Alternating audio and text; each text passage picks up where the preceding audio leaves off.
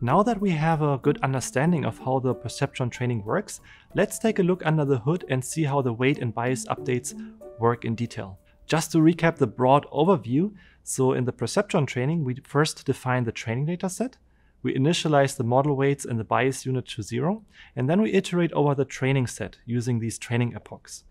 In each training epoch, we make predictions, compute the error, and update the weights and the bias unit.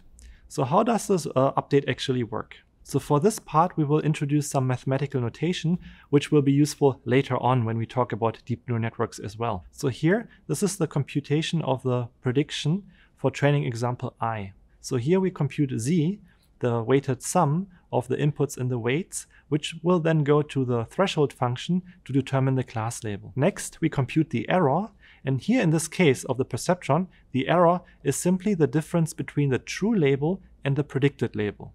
So y hat refers to the predicted label. Then we use this error term to update the weight parameters of the perceptron.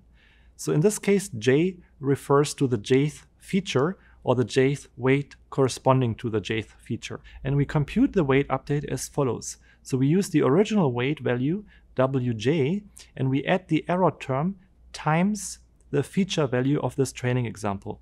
That is x superscript i subscript j, where j stands for the feature index and i stands for the index of the training example in the training dataset. So remember though, next to the weight parameters, we also have this bias unit. How do we update this bias unit? The update of the bias unit is actually very similar to the weight update, except since the bias unit does not correspond to a given input feature, here the update is just the original bias value plus the error term. This was the overall concept of the weight update and the bias update. Let's now take a look at this with a concrete example. Suppose our true label that we want to predict is 0 and our model predicts a 0. In this case, we don't make any error. So 0 times something is still 0. And if we consider the original weight value, wj, plus 0, nothing changes here. But this is good because if the perceptron does not make an error, we don't need to update it. Let's take a look at another example where the true class label is 1 and the predicted class label is also 1.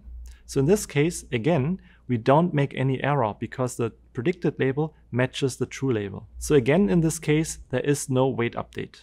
Now let's take a look at an example that is a little bit more interesting. So consider the example where the true label is 1 and the predicted label is 0. In this case, 1 minus 0 equals 1 which means the perceptron makes a wrong prediction. So what do we have to do in order to fix that? So if the perceptron output 0, that means that the weighted sum was either 0 or smaller due to the threshold. What we want though is we want the perceptron to output the 1. This means we have to increase the weighted sum somehow. And we achieve this by making the weight larger. So in this case, if you look at the equation above, we have now wj plus 1 times the feature value, which will push the weighted sum towards larger values. Let's take a look at another interesting example where the true label is 0 and the predicted label is 1. So 0 minus 1 equals minus 1. So in this case, our output is too large. So our output was 1, however, we want the perceptron to output 0. So what we have to do now is we have to decrease the weight value to make the weighted sum smaller.